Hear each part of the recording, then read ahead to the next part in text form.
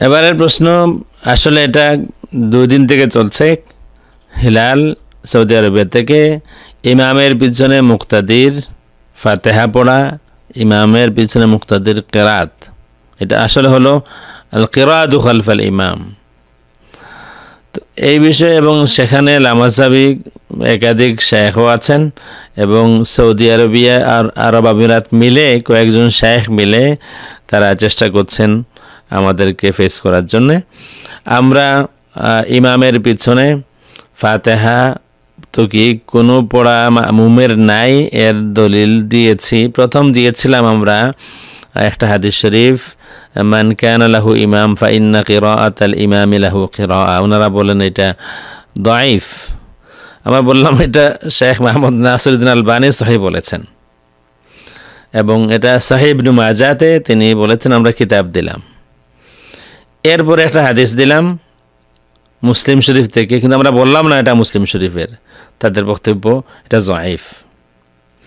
Finally আমরা বাধ্য হলাম, তারা পাঁচ মিনিট টাইম নেন, দশ মিনিট টাইম নেন, আধা ঘণ্টা টাইম নেন, তারপরে এক এক কথা বলেন। ফাইনালি আমরা বাধ্য হলাম এটা বলতে এটা মুসলিম শরীফের হাদিস। এরপরে তাদের বক্তব্যটা আসলো, আমরা ওই বক্তব্য শোনাবো। আমরা সারগোতা বলি, আল্লাহর হাবিব সাল্লাহ আলহি আলী আসাল্লাম বলেছেন একটা হাদিস শরীফে, লা সলাতা ইল্লা বি উম্মিল কোরআন, লা সলাত আলিমাল্লাম ইয়াকরা বি উম্মিল কোরআন, যে উম্মুল কোরআন পড়ে না, ফাতেহা পড়ে না, তার সলাত নাই। আবার বলেছেন যে ফাতেহা এবং ফাতেহার সাথে আরও পড়ে না, তার সলাত নাই।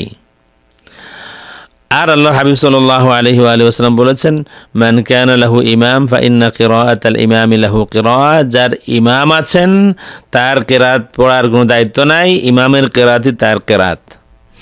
মুসলিম শরীফের হাদিস জায়দ বিন সাবিত রদি আল্লাহ তালকে প্রশ্ন করা হয়েছিল।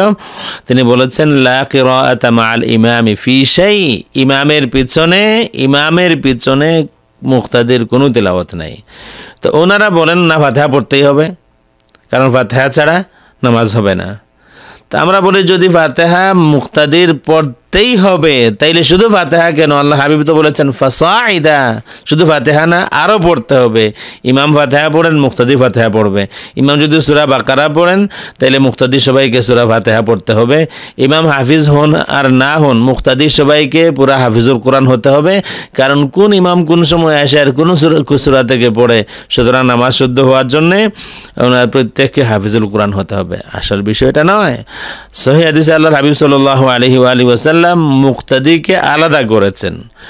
মুক্তাদ যখন বলেছেন ফাতেহার কথা, এখানে না ইমামের কথা বলেছেন, না মুক্তাদি না মুনফারিদের কথা বলেছেন। আমভাবে বলেছেন সকলের জন্য। কিন্তু অন্য হাদিসে আল্লাহ হাবিব সাল্লাহ আলহি আলী ওসাল্লাম মুক্তাদিকে আলাদা করেছেন, মুক্তাদির কোনো কেরাত নাই। আসুন আমরা এই গত দুই দিনের শেষ পর্ব আমরা শুনি। ওয়ালাইকুম সালাম রহমতুল্লাহ বারকাত জি, আপনার যে হাদিস দুইটি দিয়েছেন হাদিস দুইটি সম্পর্কে আমি এটাই বলব যে হাদিস দুটি ঠিক, কিন্তু এই হাদিস দুটি যে সময় ইমাম সাহেব কোরআন পড়বেন, অর্থাৎ কোরআন পড়াকালীন, অর্থাৎ যেমন ইমাম সাহেব পড়তেছেন অদ্দুহাহা, আপনি যেন তার পিছনে ইমাম সাহেব পড়ছেন অদ্দুহাহা, আপনি যেন বলেন অদ্দুহাহা, এই সমস্ত জায়গা থেকে বিরত থাকার জন্য বলা হচ্ছে। যে এ সময় তোমরা শ্রবণ করো। কিন্তু এই হাদিস থেকে যে অন্য হাদিস, বুখারি রাহিমাহুল্লাহ রচনা যেগুলো হাদিস করেছেন, যে লা সলাতা, লা আল্লাহ আকবার, লা সলাতা লিমাল্লাম ইকরা বিফাতিহাতিল কিতাব। অথচ এই হাদিসের মধ্যে ফাতেহা উল্লেখই নেই। ফাতেহা উল্লেখ নাই। ফাতেহা ব্রাতিত। ফাতেহা ব্রাতিত অন্য যেইগুলা তিলাওয়াত করবেন, ইমাম সাহেব যে সময় পড়বেন, ওই সময় আপনি আর কোনো কিছু পড়তে পারবেন না। এটাই হচ্ছে গিয়ে হাদিস। ফাতেহা ব্রাতিত অন্য কোনো কিছু যে সময় অন্য কোনো সুরা পড়বেন অন্য কোনো আয়াত পড়বেন, এই আয়াতটি আপনি যেন সাথে সাথে না পড়েন। যেমন ওই হাদিসটির কথা নিয়ে আসি। উবায়দা বিন সামেদ হতে বর্ণিত যে হাদিসটি রাসুসাল্লাহ সাল্লাম সালাতের পরে জিজ্ঞাসা করলেন, তোমরা কি কোনো কিছু কি পড়ো? তারা বলছে হ্যাঁ পড়ি। রাসুল সাল্লাম বলছেন, তোমরা কি পড়ো? তোমরা পড়িও না। যদি তোমরা পড়ো, শুধুমাত্র তোমরা পড়বে উম্মুল কোরআন, তাহলে বোঝা যাচ্ছে যে সেই সময় ফাতেহার পরে অন্য কোনো কিছু পড়তো তারা। অন্য কোনো কিছু ইমামের পিছনে পড়তো, ওই জন্য রসুলাম বলছেন, তোমরা কোনো কিছু পড়িও না। যদি পড়ো তোমরা, তাহলে শুধুমাত্র সুরে ফাতেহা পড়িও। সুরে ফাতেহা পড়ার পরে তোমরা স্টপ থাকো, আর বাকিটা তোমরা শ্রাবণ করো। তাহলে বাকিটার কাছে যাওয়ার পরে ইমামে যতটুকু পড়বে, ততটুকু শ্রাবণ করতে হবে, সুরে ফাতেহা ব্যতীত। হাদিস, অসংখ্য হাদিস রয়েছে। আমরা প্রত্যেকটি হাদিসকে মানি। যেগুলো সহি রয়েছে। আশা করি বুঝতে পেরেছেন। হাদিস রসুলাম বলছেন, তোমরা সুরে ফাতিহা পড়ো। সুরে ফাতিহা মধ্যে সালাত হবে না। অথচ সুরে ফাতিহা পড়তেই হবে। কিন্তু এই জায়গাতে সুরে ফাতিহার কথা উল্লেখ নেই। ইমামের পিছনে যে সময় ইমাম কোরআন পড়বেন, কোরআন পড়াকালীন তোমরা স্টপ থাকো। কোরআন পড়াকালীন তোমরা স্টপ থাকো। কিন্তু অন্য হাদিসে বলা হচ্ছে, কোরআনের মধ্যে সুরে ফাতিহা যে সময় পড়বে সুরে ফাতিহা তোমরা পড়তে হবে, কেননা সুরে ফাতিহা ছাড়া তোমাদের সালাত হবে না। আশা করি বুঝেছেন। আল্লাহ আপনাকে বুঝার তৌফিক দেখ আমি আসসালামু আলাইকুম যাই হোক হাদিস দুই, হাদিস দুইটা সহিহ। কোন দুই হাদিস? একটা ইবনু মাজাতে, যে হাদিসটা শেখ আলবানিও বলেছেন সহিহ।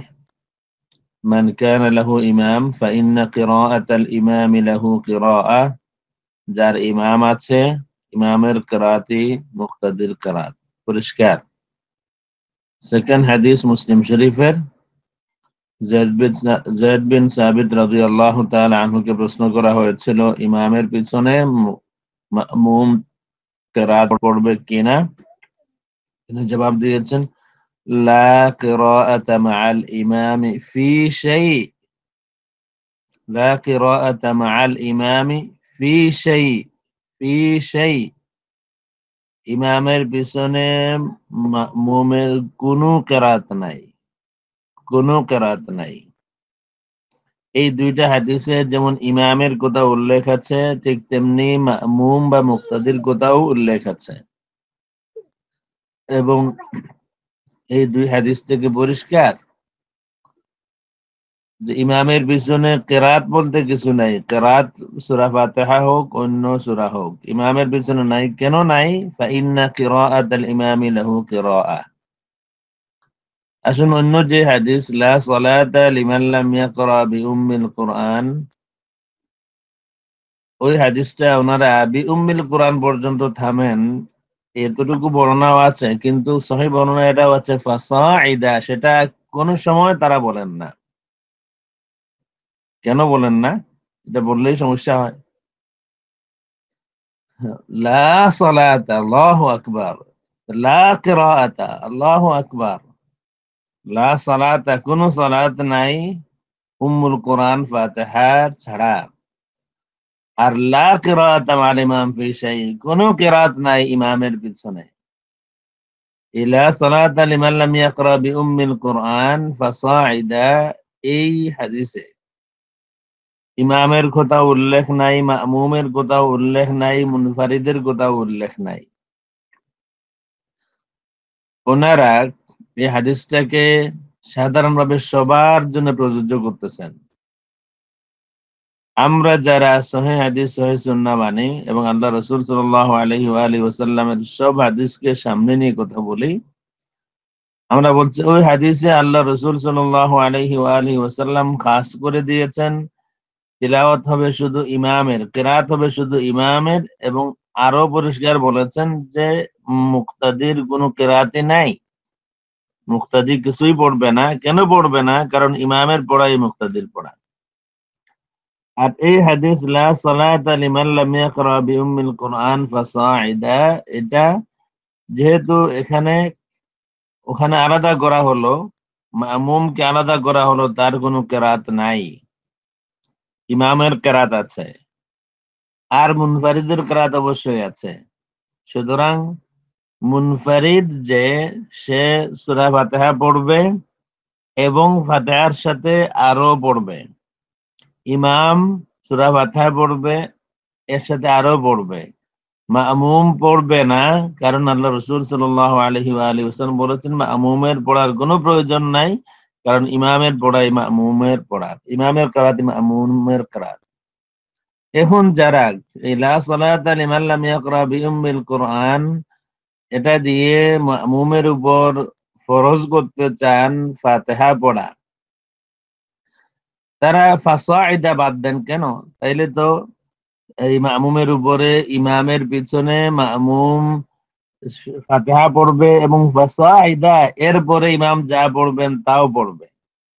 ইমাম কোন জায়গাতে পড়বেন কোনো নিশ্চয়তা নাই। সুতরাং প্রত্যেক মামুমকে পুরা হাফিজুল কোরআন হতে হবে। ইমাম যেখান থেকেই পড়বেন, ইমামের পিছনে মামুম তাই পড়বে আরেকটা মশালা ইমাম ফাতেহা শেষ করেছেন, একেবারে রুকুর আগে যদি কেউ আসে, রুকুর আগে যদি কেউ আসে, উনি সনাতে শরিক হলেন, ইমামের সাথে রুকু করবেন কিনা বলবেন, যাহা রুকু করবেন। তাহলে ফাতেহা পড়া হলো না? ফাতেহা তো ওনার পড়া হলো না? তাহলে তো বলতে হবে যে, যার ফাতেহা মিস ওই নাই? আসসালামু আলাইকুম ওরহমতুল্লাহ বারাকাত শায়েখ আইনুল হুদা সাহেব, অসংখ্য অগণিত মুবারকবাদ জ্ঞাপন করছি আপনাকে। এত সুন্দর সাবলীল ভাষায় যে সুরা ফাতেহা, ইমাম এবং মুক্তাদি এবং মুনফারিদ পড়তে হবে কি না এই বিষয়ে যে এত সুন্দর করে আলোচনা করেছেন। সংক্ষিপ্ত সময়ে এত সারগর্ব আলোচনা করার যে তৌফিক আল্লাহ আপনাকে দিয়েছেন, আল্লাহর শুক্রিয়া আদায় করছি। সাথে সাথে যে আপনাকে এই কাজের জন্য যে আল্লাহ নির্বাচিত করেছেন, আল্লাহর শুক্রিয়া আদায় করছি এবং সাথে সাথে আপনারও কৃতজ্ঞতা প্রকাশ করছি। আল্লাহ আপনাকে আরও এইভাবে সুন্দর সুন্দর আলোচনা করবার তৌফিক দেন। আর আমাদের যাদের তকদিরে আছে হেদায়ত, আমরা আপনার আলোচনা থেকে হেদায়ত গ্রহণ করতে পারব। আর তকদিরে না থাকলে তো আর করার কিছু নাই। তবে এগিয়ে চলুন, এগিয়ে যান। ইনশাল্লাহ আপনার এই কাজ আল্লাহর দরবারও কবুল হবে বলে আশাবাদী। আসসালামু আলাইকুম।